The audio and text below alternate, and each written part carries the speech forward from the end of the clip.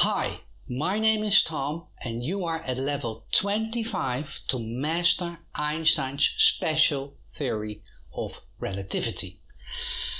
It took me five months after I published level number 24, but here we are. We are finally going to meet Albert Einstein for the first time in our journey all the way to the top of Einstein's mountain. This level is targeted at uh, all, so I will take it easy and just enjoy the ride. Let's see. Here we have Albert Einstein. And as I have been doing in previous levels, I have been ranking the stars. There are many lists on the internet and I picked one. And in this case, in this list, Einstein was listed at number 10. Woo! Usually he's at number 1 or number 2, fighting with Isaac Newton, but in this list he was at number 10. Some of the things he did. Well, of course, this whole series of videos dedicated to the special theory of relativity. He published it in 1905. It took him 10 years to make this theory more generic and include gravity, which he did in 1915. And this theory predicted gravity waves a year later, and these were confirmed 100 years later. They also predicted black holes and just two years ago, I'm taping this in 21, the first real picture was taken from a black hole, and in 2020 they gave the Nobel Prize to Roger Penrose, who did the mathematical mumbo jumbo. He started with general relativity and out came black holes. We have Reinhard Genzel, a German uh, and we have Andrea Ghez from the US, and they both did uh, observations in our universe, and they discovered a huge black hole in the center of our Milky Way. I hope it's um, not going to eat us up because that's what black holes do. They eat planets. Here is the picture. And then in 1935, we got something which is really interesting wormholes. Um, and it's it's a theoretical concept, but if it also turns out to be true, just as all the others, we might be able to travel faster than the speed of light, go from A to B in space time, cutting corners, you know, taking the, the short route. Who knows? Time travel might be possible in the future. And here is a artistic graph uh, illustration of the, of the black hole. But I want to talk about this one, 1905. Einstein wrote four papers. Annus Mirabilis, the wonderful years or year.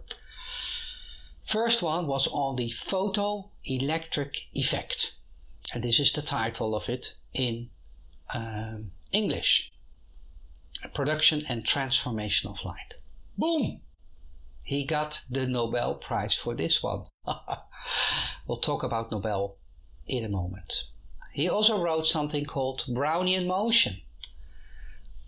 It's outside of the scope of this series, but it uh, tells you something about uh, molecules moving and kinetic energy, stuff like that. The third one, our topic of the entire series, the special theory of relativity in English on the electrodynamics of moving bodies. Here we see the uh, original uh, German paper in the uh, on the left and the English uh, translation on the right.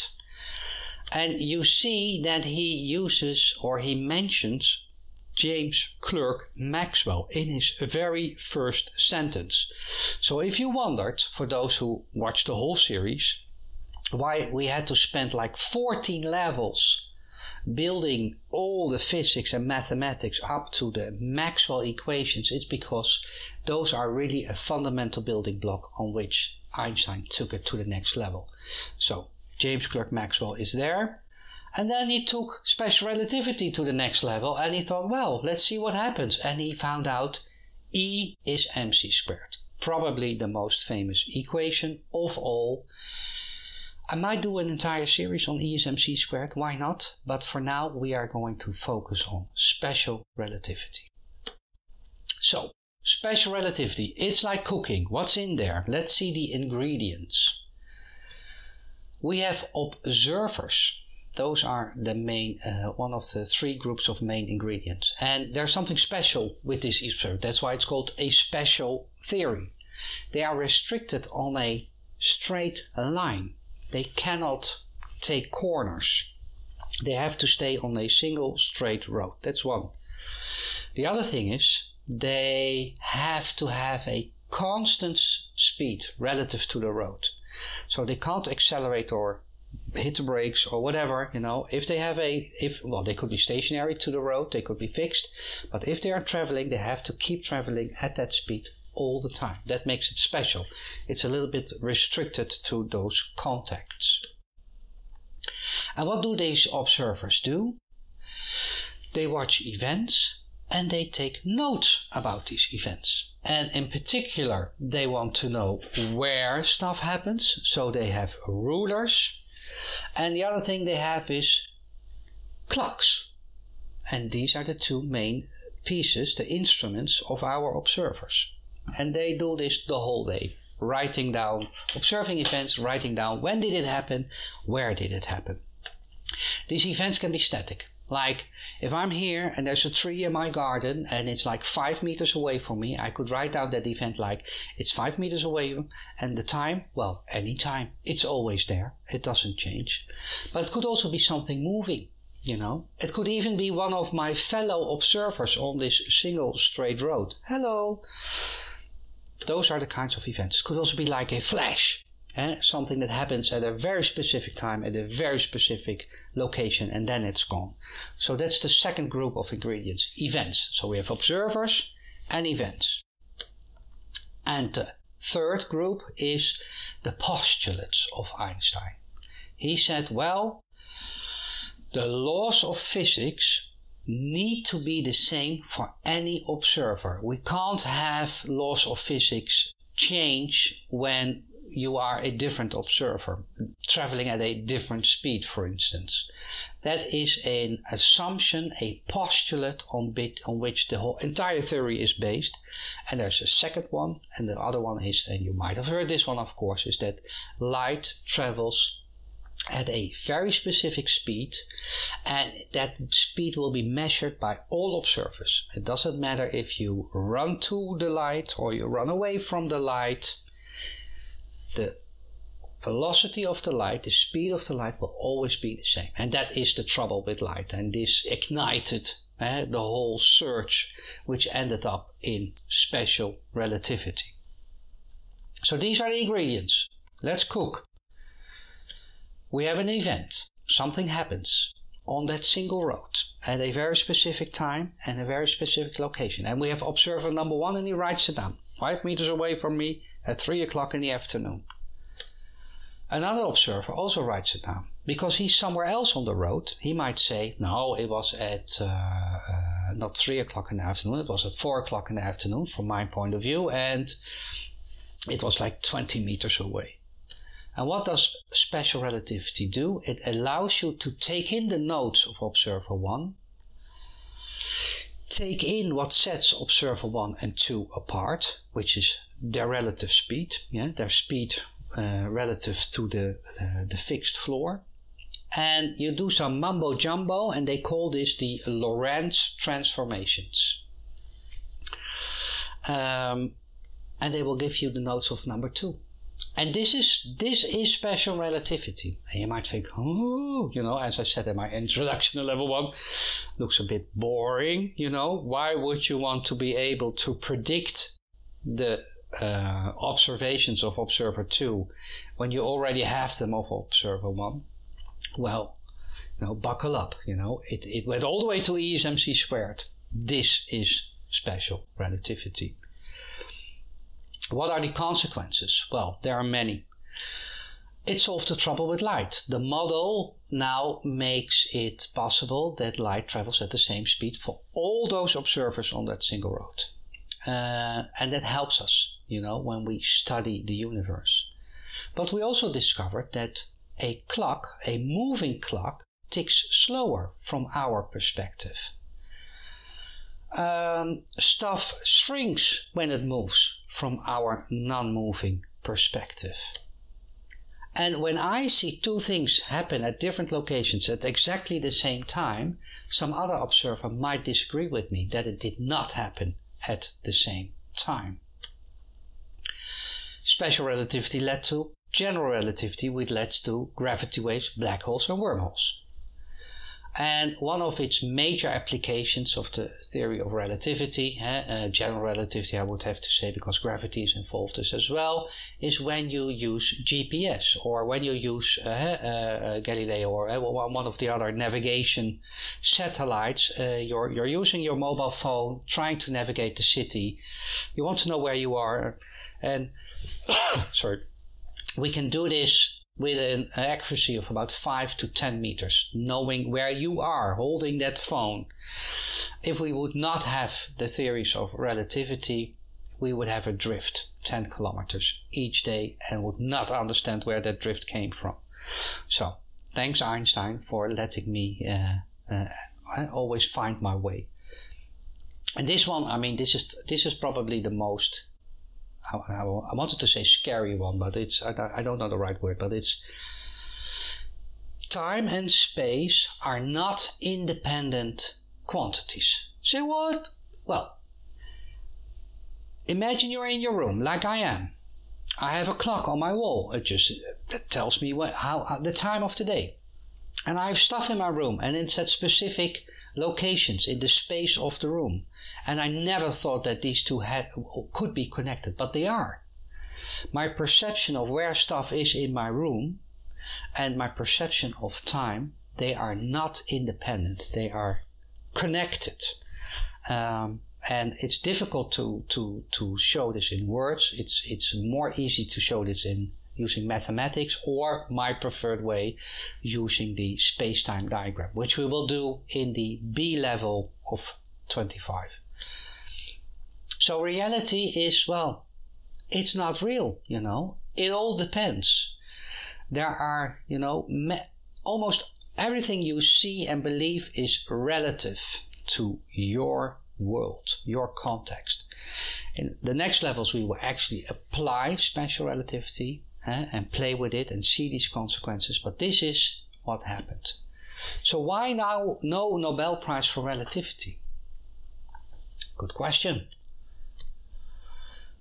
In 1911, uh, Wilhelm Wien got the Nobel Prize, and a year later he said we should give it to Albert Einstein for uh, and not only Albert Einstein, but also Lorentz.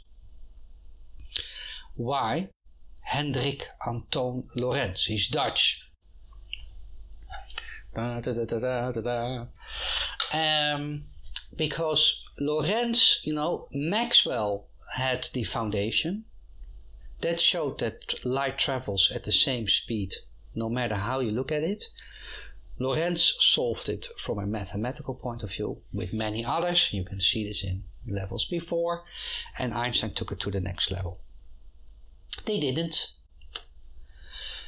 In that time, we had the aftermath of World War One, and Albert Einstein is a Jew, and anti-Semitism was rising. So you know it's not confirmed, but that might have been of influence of not giving him the Nobel Prize.